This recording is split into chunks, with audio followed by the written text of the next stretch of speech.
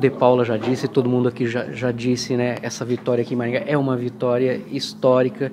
É lógico que todos nós esperamos que vocês voltem né, com a classificação, mas qual é a preparação que o Maringá está tendo nesse momento para esse jogo que vai ser muito né, importante? Acredito que a parte emocional é muito importante, né?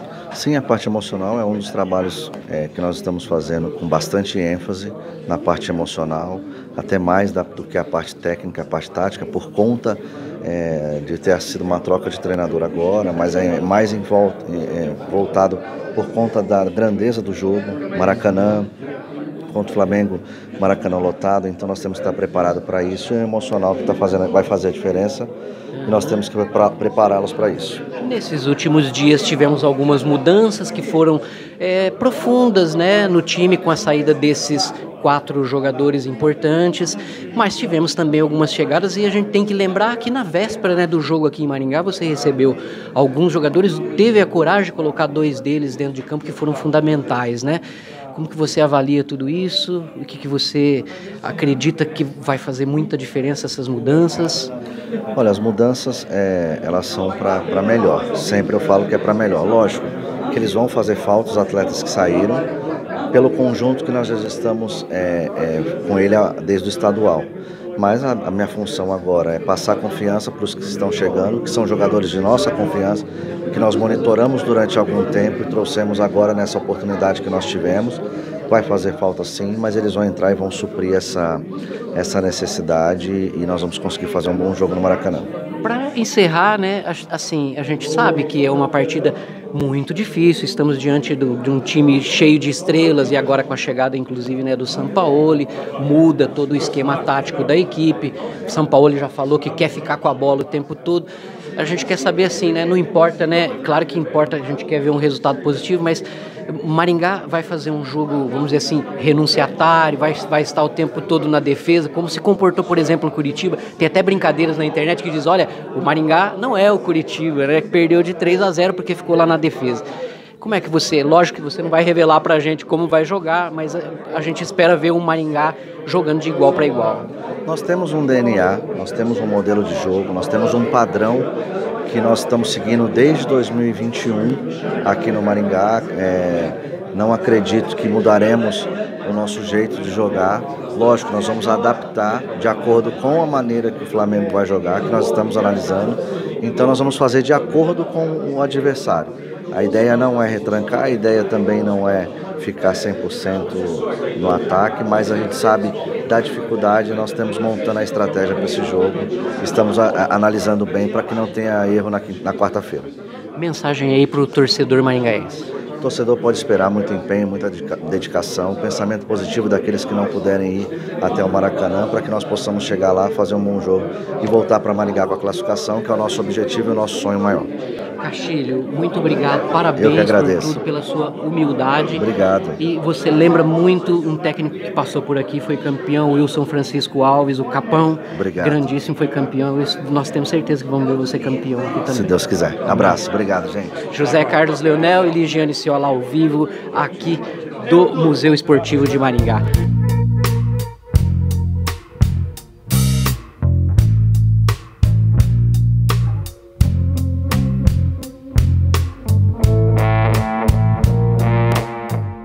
Para brilhantar, eu quero contar rapidamente um episódio.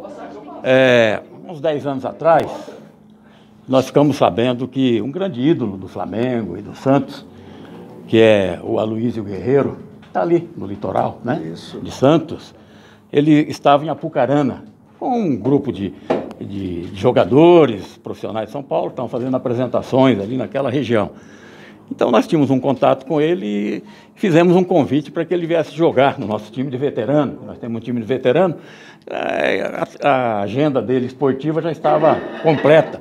Mas então resolvemos convidá-lo para vir participar do terceiro tempo, que é o chopinho, a cervejinha, o, o churrasquinho e tal. E nos propusemos a buscá-lo em Apucarana e depois levar. Ele prontamente atendeu. que hora que vocês vêm buscar? E veio. Né? Veio, abrilhantou a festa, uma coisa extraordinária. E o futebol, né? nós somos apaixonados pelo futebol, E a presença do Aloysio Guerreiro ali, né, com a sua simpatia, com a sua gentileza, com a sua humildade, né, é, marcou muito aquele momento. Né, e uma estrela né, para nós. E nós temos estrelas aqui também. Né? Eu quero fazer referência a duas estrelas do futebol profissional de Maringá. Marco Aurélio, né, que estava aqui, acabou tendo que ir embora, né, 10 anos de Flamengo, né, uma estrela que brilha sobre nós. E temos o Roderley, né, campeoníssimo no futebol profissional de Maringá, e também é uma estrela que é, abrilhanta né, a todos nós. E fazendo referência ao Roderley e ao Marco Aurélio, eu faço referência e homenageio a todos os grandes jogadores profissionais que se dedicaram ao nosso futebol maringaense. E hoje, você é a estrela. você é a estrela que está brilhantando o nosso futebol profissional. Quer dizer, o Maringá, com 10 anos de fundação, né, é, ombreando-se com as grandes potências do futebol do Paraná, Curitiba, Atlético, que estão na divisão da Série A do futebol brasileiro, Londrina na Série B, Operário agora na Série C, o Cascavel, que é forte. Então, o futebol profissional do Paraná é muito forte. Né? E você é essa estrela que está fazendo brilhar o futebol profissional. Culminando agora, recentemente, com uma extraordinária vitória sobre o gigante né, centenário Flamengo. E que coloca Maringá novamente no cenário esportivo, no futebol. E que voltará a jogar no Maracanã com grandes possibilidades. Então, nós temos aqui um orgulho de recebê-lo no museu. É, você, a partir de agora, não é apenas um visitante, mas se considere um integrante da família Museu Esportivo de Maringá. Tá bom? Obrigado por sua presença e boa sorte na sua carreira. Eu que agradeço. É, estrela é muita coisa, né? Mas nós estamos fazendo um bom trabalho, eu junto com a minha, minha comissão técnica, todo o nosso staff, nossa diretoria. Fico feliz por, por fazer parte desse momento.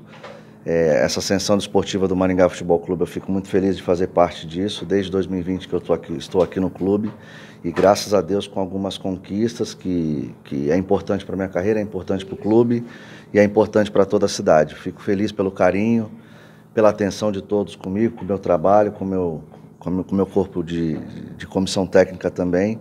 É, eu só tenho a agradecer e aproveitar esse momento, trazer uma camisa também para vocês é, colocarem no museu. Não sei para quem que eu entrego. É aqui, para o presidente. Tanto presidente. Tá entregue, obrigado. Tá? É simples, mas é, é de coração. Legal. Tá Depois você vai autografar. Eu queria é, completar é, o que o Aldi disse que é o seguinte, Jorge. Primeiramente, muito obrigado por você ter vindo, apesar do atraso considerável, de mais de uma hora, culpa do Rodrigo. Desculpa, a culpa foi minha. Eu estiquei demais Não, o treino, me perdoa. para o assessor, o assessor é que tá. o estágio... É o seguinte, a gente está muito feliz de receber você. Esse espaço aqui é um recorte da memória esportiva de Maringá, do Paraná e do Brasil. E o Aldi disse tudo mas eu queria acrescentar um, algo mais, Aldi, que logo depois daquela vitória espetacular, um amigo me ligou, Adriano Marquiotto, o Adriano me ligou, falou, De Paula, essa vitória do, do Maringá contra o Flamengo, o que, que ela representa num contexto histórico? Está entre as maiores? E aí está o Chão Rivelino, Júlio Meneghetti, não sei se eles compactuam dessa opinião, eu digo que ela está no top 5. Está entre as cinco grandes vitórias conquistadas por um clube maringaense no estádio Davis. Então, quando sai um resultado desse, a alegria da torcida toda, a garotada, essa nova geração, todo mundo fica muito feliz. E os mais antigos ficam assim: poxa, esses caras estão honrando as tradições do futebol de Maringá. E para o pesquisador, para o historiador, a gente já começa, que é o caso do Tilim, que é meu parceiro, que é enciclopédia do futebol de Maringá, aí a gente começa a imaginar se esta vitória ela representa o que historicamente. E vou falar para você, ela representa muito e ela já está gravada na história do futebol profissional de Maringá e do Paraná. E aconteça o que acontecer. Eu espero que você continue a fazer belas histórias. E o Museu Esportivo vai estar aqui para contar essas histórias ao lado desses grandes amigos que nós temos aqui. Que o Museu Esportivo existe porque existem essas pessoas que nos ajudam a divulgar, a carregar isso, a carregar essa história. E você agora, como o Aldir falou, você não é um visitante. Assim como o Rodrigo que te trouxe, você é também parceiro do Museu Esportivo de Maringá, tá bom? Obrigado.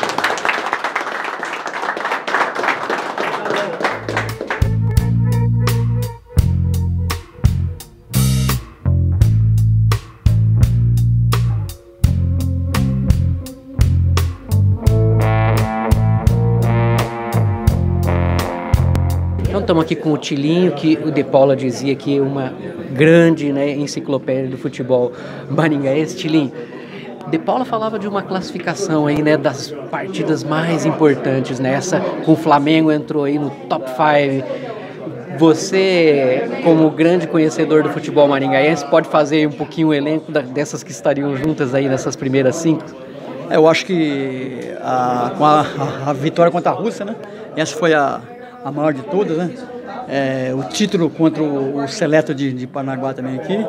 Acho que a vitória contra o, o Internacional, e tem dois pelo prato brasileiro também, que foi uma que fica para para a história, né? Com defesa de pênalti do, do Rubens. Rubens. É, o Rubens foi o, o, goleiro fantástico duas vezes seguidas, nesse mesmo campeonato tem dois, né?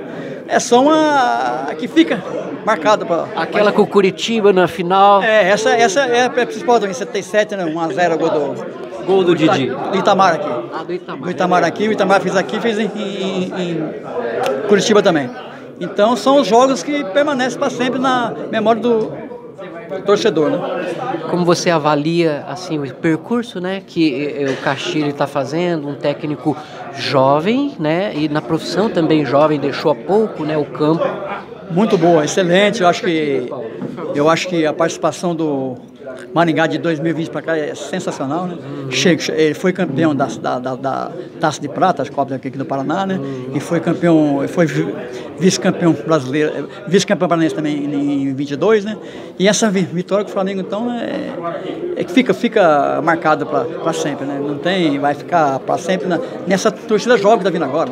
Você, você vai hoje no estádio, você vê mulheres no campo, coisa que você não via antes. Mulheres Algo que, vou, quero lembrar você, que nos anos 70, não, do não, Grêmio de Maringá, não. a gente tinha bastante famílias voltando ao campo. Tinha, tinha, tinha, tinha família, mas não, e, e, igual agora, igual agora você, você não vê. É muitas mulheres, crianças com a camisa do, do, do Maringá, coisa linda de se ver. Então eles conseguiram resgatar a imagem da família para o estádio de futebol. Isso é, é importante. Ô Carlos, obrigado pela tua presença, da Ligiane aqui. E a gente está muito feliz né, com esse momento que Maringá vive e que eu falo sempre, a gente vive de histórias, né? Então, quando eles fazem história, isso é muito bom para o Museu Esportivo, que a gente reflete isso, a gente repercute isso, né? Isso é muito bacana. Hoje nós recebemos um pessoal de Ponta Grossa aqui que ficou muito contente de ver, porque os maringaenses a maioria já conhece o Museu Esportivo. Agora, quando a gente recebe pessoas de fora, assim, que nos ajudam a divulgar... O espaço que está ficando pequenininho, apertadinho aqui, né? É, né? Graças a Deus, que muita gente fazendo doações aí, né? Então, é, o espaço está ficando pequeno mesmo. Viu, De Paula, escuta, eu estava pensando assim, né? É, hoje, na verdade, né, você tem é, muitas fotografias, muitas coisas, recebeu doação do seu Maurício Cadamuro, de tantos materiais que você vai ter que ver ainda o que tem lá dentro, muita história ali dentro, mas hoje a gente está contando a história ao vivo, documentos que a gente vai conseguir conservar né, online, então isso é muito importante, né? Vamos continuar contando essa história, né? Resgatando aquilo que a gente pode do passado e continuar contando ela como estamos fazendo hoje. É, esse é o objetivo, né? A gente contar essa história, né? Então, por exemplo, vocês gravando, registrando esse momento aqui da visita do Jorge Castilho, que é um treinador que já entrou na história do, do futebol profissional de Maringá, né? Então a gente fica bem feliz, né? A gente se emociona de ver assim o carinho das pessoas por ele, né? E, e ele também é uma pessoa muito humilde, né? Então é muito bacana isso. Joia. Esse foi então Antônio Roberto de Paulo, diretor aqui do Museu Esportivo de Maringá. Muito obrigado, De Paula. Obrigado.